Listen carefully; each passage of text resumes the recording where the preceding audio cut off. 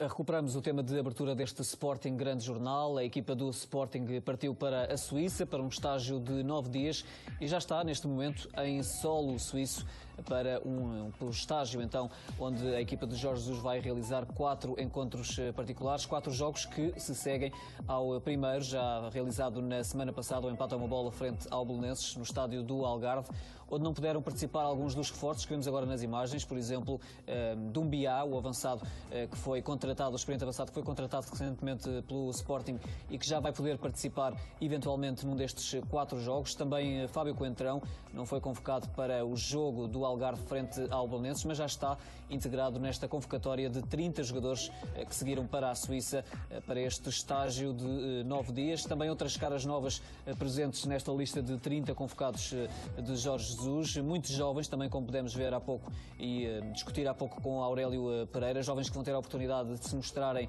a Jorge Jesus. Não têm lugar garantido no plantel da próxima época, mas podem pelo menos lutar para que conquistem então uma vaga no plantel principal do Sporting para 2017-2018. Algumas caras já também da época passada, por exemplo, o Francisco Geraldes, está de regresso dos, da seleção de sub-21, já está a, a, trabalhar também às ordens de Jorge Jesus e João Palhinha, ele que participou, tal como o Francisco Geraldes, no último jogo do Sporting frente ao Belenenses. Daniel Pudense está também uh, de regresso, teve a oportunidade de regressar mais tarde aos treinos de Jorge Jesus no final da semana passada. E seguiu então com a restante comitiva, também a ASBU, podemos ver, Tobias Figueiredo, André Geraldes e o total de 30 jogadores, todos chamados por Jorge Jesus, estágio de nove dias na Suíça, quatro encontros particulares, ainda antes de outros três que o Sporting vai realizar antes do início do campeonato e também da pré-eliminatória da Liga dos Campeões. Nota de destaque ainda final para Jonathan Silva, ele que está de regresso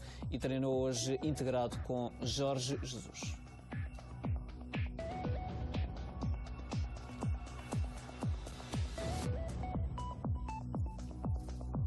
A Sporting TV também já está na Suíça e esteve hoje à conversa com vários adeptos do Sporting que receberam a equipa de forma entusiasta à chegada a Nyon.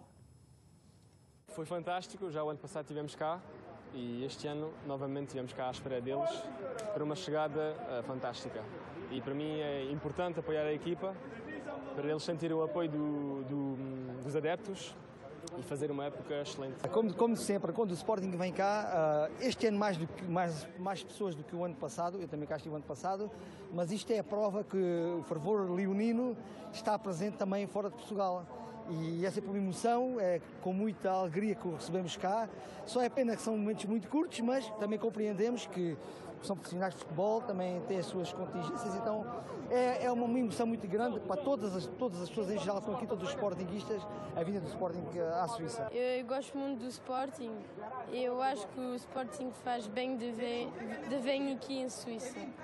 Uh, já tinha vindo o ano passado e é sempre uma boa oportunidade aqui que não temos o ano inteiro jogos aqui perto para podermos chegar mais perto da nossa equipa.